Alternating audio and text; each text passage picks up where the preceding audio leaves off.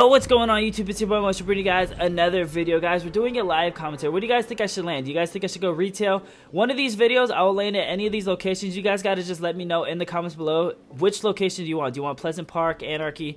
Let me know and I'll give you guys the best tips on landing at that location. So, but for now, since I have no comments and this is the first video where you guys give me a location to land on, we're going to go Salty Springs. This is one of the most packed places because of the week 4 challenges where you have to kill Actually, I think week three challenges where you had to kill people at Salty Springs. But since it's week three, it might be a little dead. As you guys can see, I don't really see anyone. Uh, I'm gonna land on this house. If there wasn't a chest that I heard, if you guys, you got a sound whore. If you don't hear a chest, don't even bother trying to break in through the roof. Go to the bottom floor. The first thing you want to do when you land at a city, land at a house, is you want to find a gun.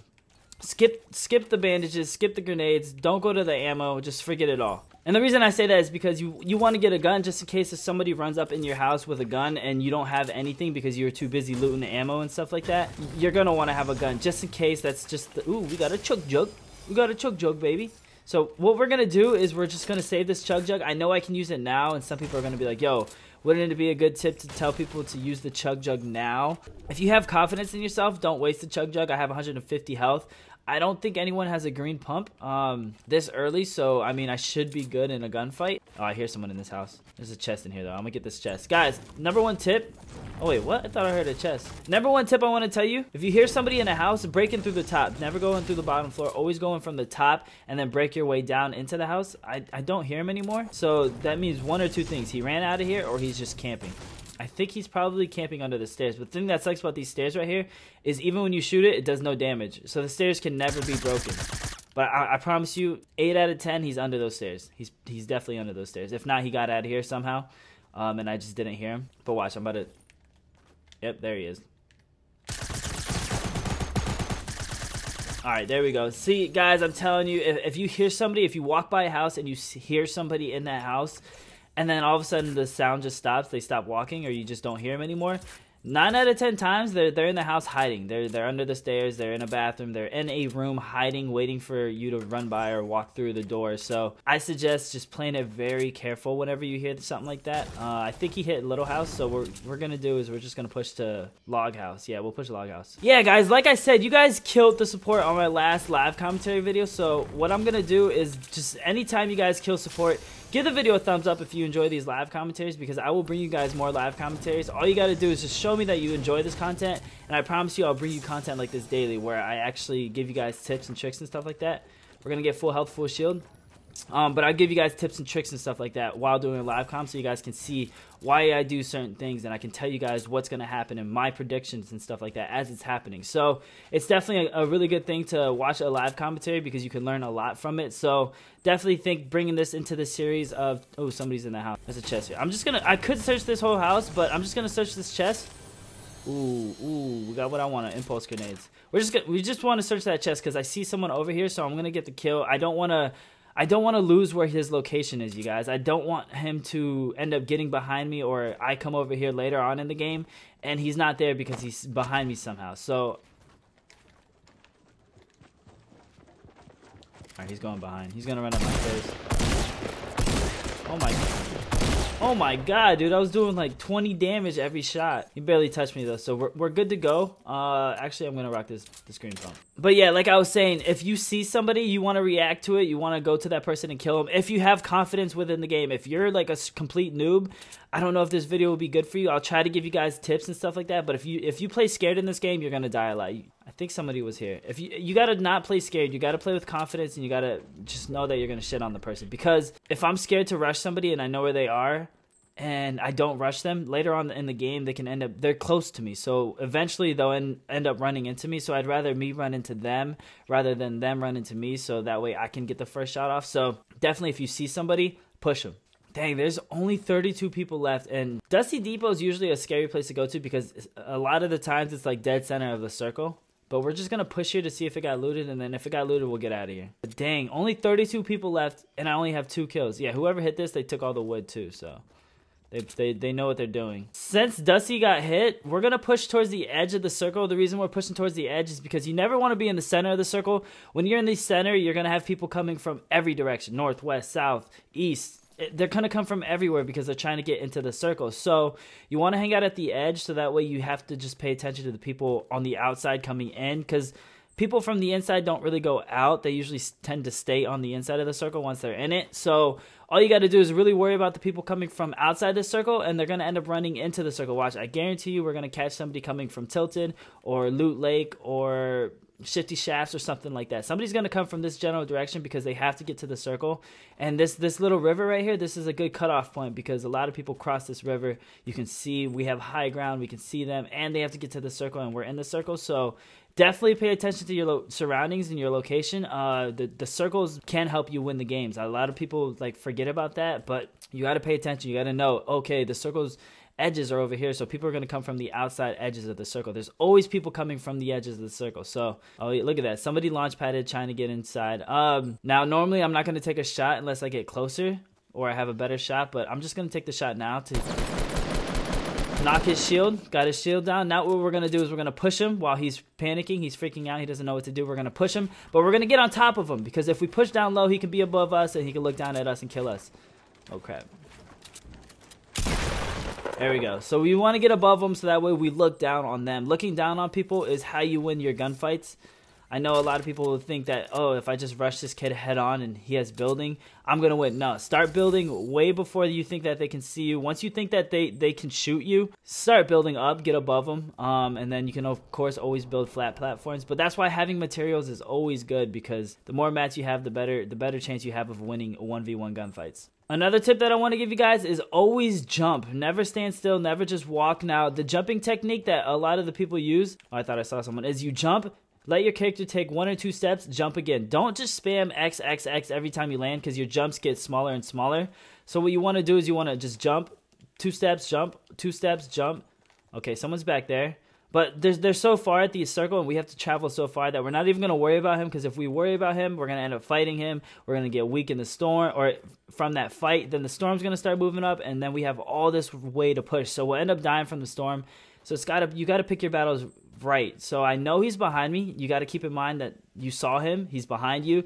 So you got to always check your back. Make sure you're always checking your surroundings and make sure you're checking your back as well. Yeah, I don't I don't think he's coming yet. He's going to come though eventually. So I got to make sure I got to make sure that I'm I have high ground advantage and he can't get behind me because if he's above me and he starts shooting me from the back, I I'm going to die. I don't have that much mats, so he can definitely outshoot my mats. And what I what I mean by outshoot my mats is he has enough ammo to just keep shooting my uh, building to the point where I run out of mats and then I have nothing else I can do. Oh, I hear a sniper shot. Sounded like it was like 330. I'm gonna push this sniper just because I need more mats, you guys. I, I, I can use a better AR. I have good shotguns. I have impulse grenade. I have a chug jug, so I should be good on that part. I don't see him coming from behind, so I'm just gonna push this kid. I'm only gonna try and kill him for the mats.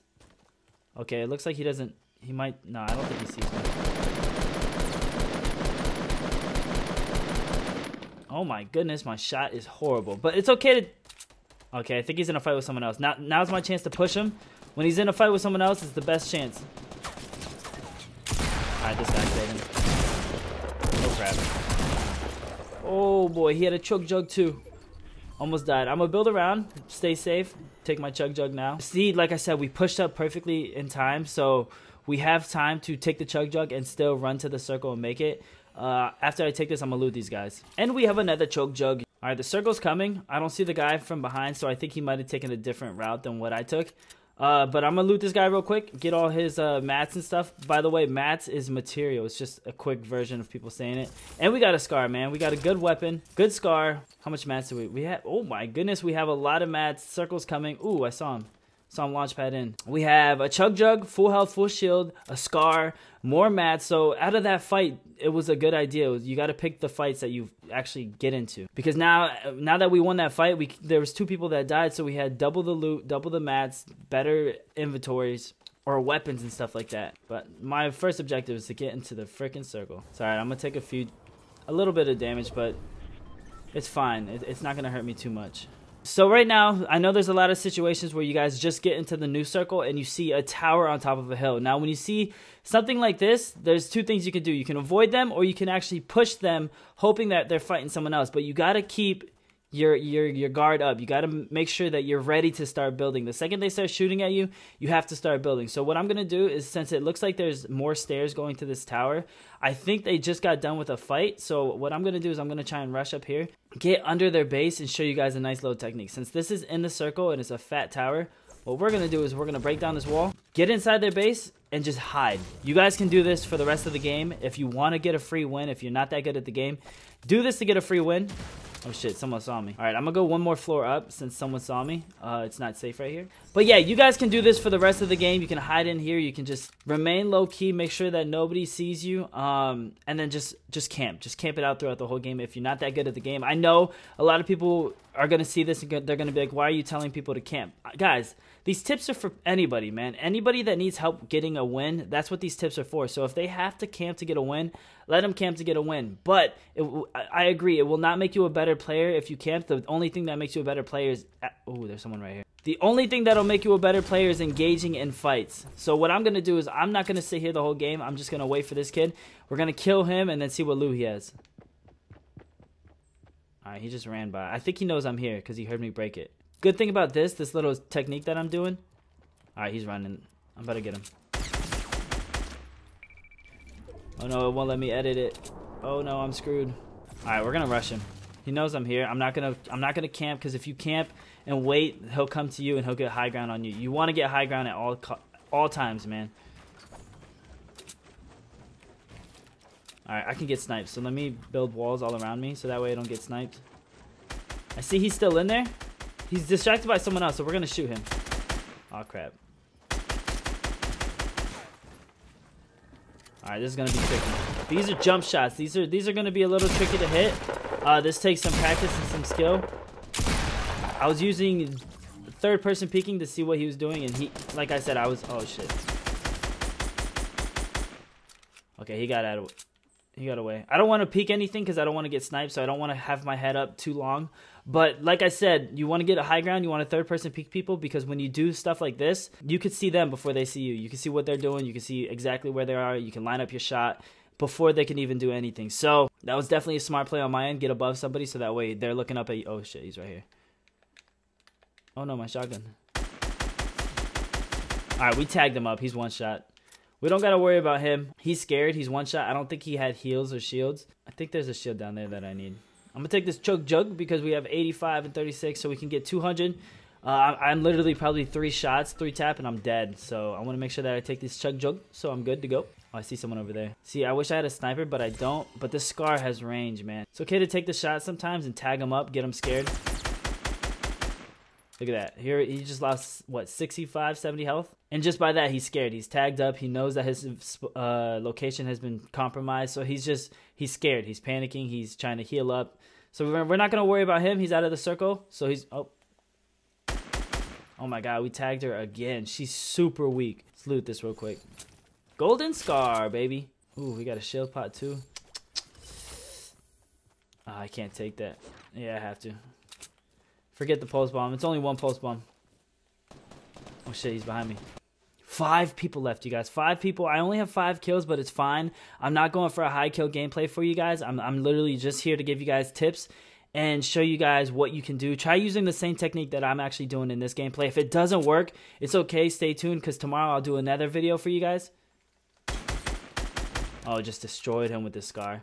Tomorrow I'll do another gameplay video for you guys, another technique that you guys can try and do, and um, you guys can hopefully try and get a win off that. If, if, if they don't keep working, I mean, don't give up, man. The second you give up, that means you're a quitter, and nobody wants a quitter. I think. Oh shit, there's someone right here. He might be, he might be over this. Oh, okay, I see him. He's over there at that log cabin. I wonder if he's trying. Yeah, he's trying to break in there. So I think there might be a chest in there. Yeah, there is. Okay, he built quick. Alright, I don't want to sit here too long because if I sit there, I'm going to get sniped or shot from somewhere else. So I'm going to try and find another way to him. He's panic building. It's over for him. The second you saw pyramids, you know he was panic building. He didn't know what to do. Yeah, in a situation like that, you, you don't want to sit there for too long trying to focus on him like that because then you could get sniped. Again, this game is all about not being in the open for too long. If you're in the open for too long, standing still, you're gonna die. Top three situation, you guys. Watch watch me clutch this, man. Again, I think the kids in my lobby, the, the last two is the girl that I tagged up and then someone else. I don't know who the last person is, but the girl that I tagged up, she was like, oh, I have 999 wood. She was like over here in the eastern area, so I just gotta look out for her. The only thing I don't like about the circle coming here to Lonely Lodge is all the trees, man. If she's in that tower, she can snipe me. But these trees are in my way. So what I'm gonna do is I'm gonna just start shooting the trees. I have a thousand and twenty nine maxed out. I have max ammo. There's no more bullets that I can carry. So what I'm gonna do is I'm just gonna start shooting these trees in a second. But instead of peeking over the wall, what I'm gonna do is just put this window here and just shoot the trees because this way nobody can really snipe me. And I have a little a little room to shoot trees and stuff like that. And it's making things open so I can actually see around me. Oh, in fact, there she is right there. All right, this tree's blocking the way, so let me just destroy this tree real quick. Yep, there she is. She's just sitting here. She doesn't know what's going on. Here we go. 1v1, you guys. A 1v1. In these situations, a lot of people get nervous. A lot of people get scared because they're like, crap. So 1v1. I hear him building. Oh, yeah. He doesn't know. He doesn't know what's going on. I could kill him. Very easy. Guys, this is a GG, man. You could definitely tell when somebody's nervous or, or kind of new to the game. I should have finished him. I don't. I stopped shooting because I was I was gonna do something crazy for you guys, but I don't know where he went. All right, we're in the circle. We're just gonna build a nice tower like we did earlier um and then he's gonna have to come to us we know he was over in that general area if he starts rushing me then i'll know where he is but he's gotta he's gotta show himself he's probably freaking out because the storm's closing in we're in the circle we're good to go he's got to show himself sometime yep i hear him building oh there he is this tree's in the way oh yeah gg guys tag him up real quick oh he's weak let's just shotgun him all right Flying shotgun shot. Oh, I choked it. There you guys go, man. A victory royale, guys. It's that simple, man. I'm, I'm telling you now. Let me get my launch pad. Fly out of the circle real quick. Whee! Let's go, baby, guys. There you guys have it, a victory royale. If you guys please can, give this video a thumbs up, show some love. Let me know in the comments below, do you guys want it to be edited out? Because, like, I edited and cut out a lot of the boring parts in the video, um, but then there's some interesting parts that I actually left in. But some people like the boring parts because it, you still learn what people are doing and how they're thinking. So let me know in the comments below. Hope you guys enjoyed. Again, there's a massive giveaway that me and Casual Pro are doing in the description. All you gotta do is click the first link, sign up there. It's very easy. You guys have a chance to win some free V-Bucks, which means you get some free skin. Tomorrow's video you guys are going to be interested in. I hope you guys enjoyed. I'll see you guys tomorrow. Peace.